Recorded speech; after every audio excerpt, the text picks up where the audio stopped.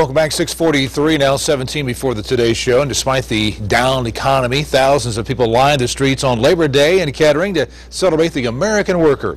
Young and old came out for the annual Holiday at Home Parade along Far Hills Avenue, and there was plenty of food, music, and fun. But parade goers say the event is about honoring folks who work hard all year long. Labor Day, I mean, yeah, like it's about the working man, I guess the about the family and getting together and having a good time, I guess. It's nice that uh, we're able to have this parade on a day where you know, people can come out, enjoy the day off.